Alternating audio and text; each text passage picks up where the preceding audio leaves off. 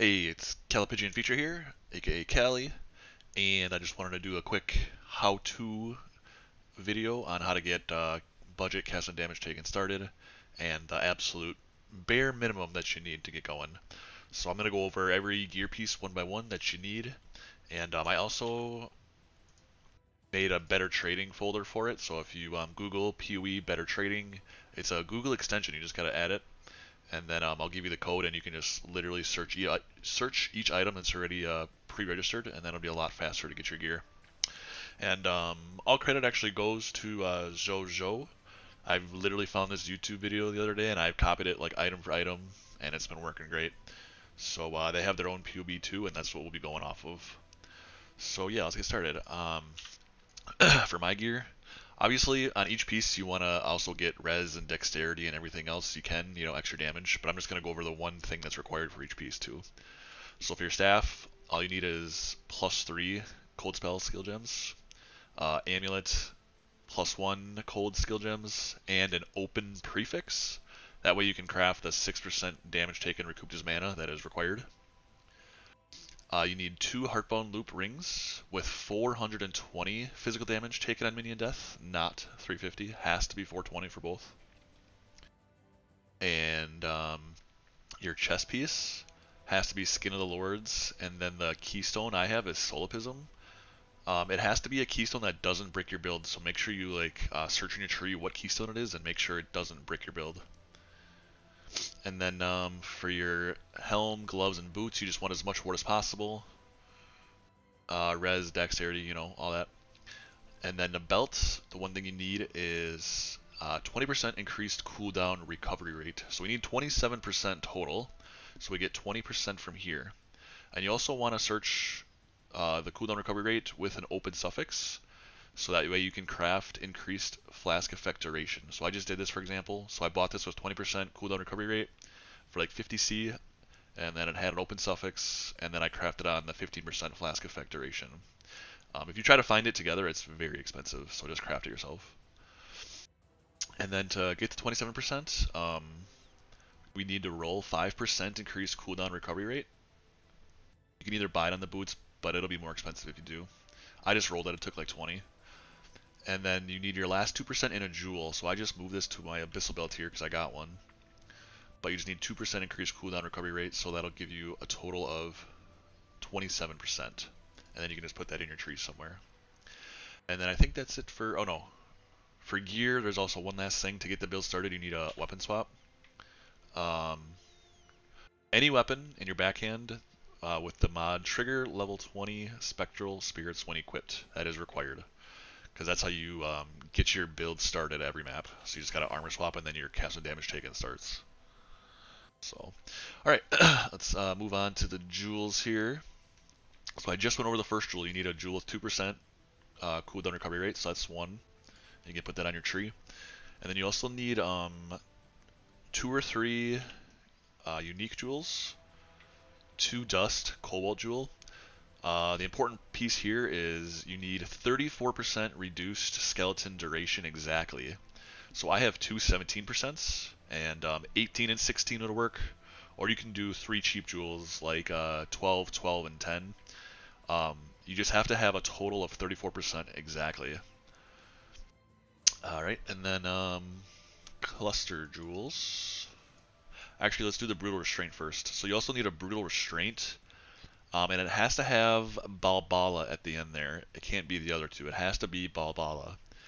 And then if you just get the cheapest one, you can insert it right here and then get the Traitor, or you can insert it up here and you can get the Traitor right here as well. Um, you technically could do it down here too and get Iron Grip, but um, so that'll allow you, this build to function because the Traitor is the key component of this build. And then um, this will allow you to run one flask, just Olroth's, and uh, we'll get that to, that to that in a sec. And then the last uh, jewels here you need is just a regular large 8 passive cold uh, damage cluster. Widespread destruction is nice to have for extra res. These aren't required though, but it's nice to have. And then these, you need two medium clusters, uh, six passives with 6% increased flask effect duration. It has to be six passives because we need as much flask effect duration as we can get. So it has to be six passive skills for both of these. And then it has to have fasting as well. And it can't have another notable, so it has to have fasting and four small. Fasting and four small. Alright, and then um, I think that's it for jewels. Yes, and then flask. So to get this build started, if you just get the cheapest Brutal Restraint, you will be able to have just one flask, which is Olroth. Um, you're going to need 40 to 44%. Anything higher uh, probably won't work. So um, 44% is what I got. 40% is very expensive, so just try to get 44%. And then um, to get a second flask working, you need to um, anoint your amulet with Druidic Rite. But if you don't, you can just use one flask to get started right away. It's not a big deal. Um, Druidic Rite is a little expensive. I think it's one golden oil. Yeah, it's a little expensive. Not too bad. But um, once you get that, and then you need a max rolled 20%, 60% uh, reduced duration Kiara's. That can be your second flask, and then you should be able to get two flasks going. And then uh, to get the third flask going, it's a little more complicated. I can do a separate video on this, but basically you have to go to Google and find um, a timeless jewel calculator and uh, figure out what numbers um, provide good stats. So this one, 3174, provides great stats for me if it's located in this socket. And it also it gives me 10% um, increased flask charges gained three separate times. So I get 30% increased flask charges gained, allows me to get a third flask in. So that's how you do that. This one's a lot more expensive. I paid 3 div, and I think they're like 5 div now, because this build's uh, been inflating a little bit. Alright, and then lastly we have gems. Uh, the only expensive required ones are uh, are anomalous summon skeletons. So uh, this right here, this has to be level 11 and at least 10% quality. Um, so I just bought an uncorrupted one, like level 20, because that was all that was sale at the time. And then I just did the scour recipe all the way down to level 11. And then the second one is anomalous minion speed support. The level does not matter on this one. Um, it has to be 20% quality though, because we're looking for the reduced minion duration.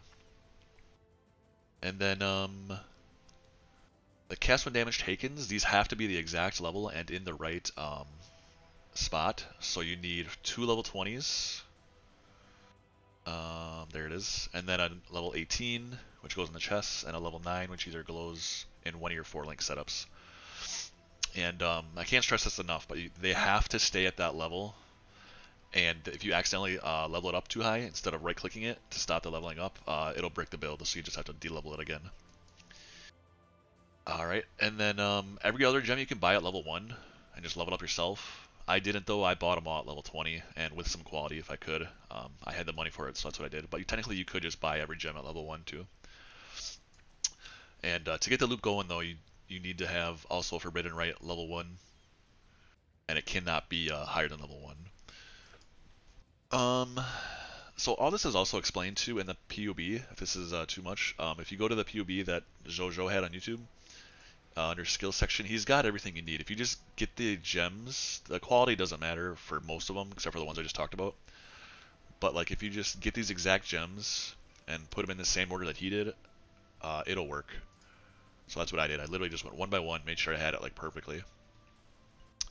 All right, and then um, that's really it. That's that should get you started. I do have a leveling tree. I uh, I did get this build started at level 75. technically, you could get it at 72 and um, I do I did make a quick tree for that. And I'll also post this link too so you can have it. So I did not do Uber Lab. It's not required. Um, the only thing though is that you have to play with like your life and extra mana nodes to like balance out the ward right away.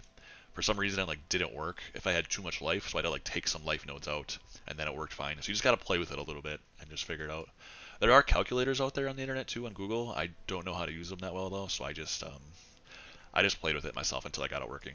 But yeah, um, that should be it to get everything started. I'll just do a quick uh, showcase on how to start the flask. So every time you enter a map, uh, you literally just hit your flask first, and then righteous fire, and then you weapon swap, and then it'll get going on your first cast. Sometimes if it takes two or three casts, it's not quite there yet, so you gotta like adjust your life or mana just a little bit yet. And then, uh, yeah, that's all there is to it. If you have any questions, feel free to drop by my stream at twitch.tv slash Feature. I just started streaming, so I'm brand new to all this. But uh, I'll help anybody out who has uh, questions. I'll look at your POB and everything. Um, or you can leave a comment on this YouTube video. I'll try to answer these as well. So that's it. Have a good one. Thanks.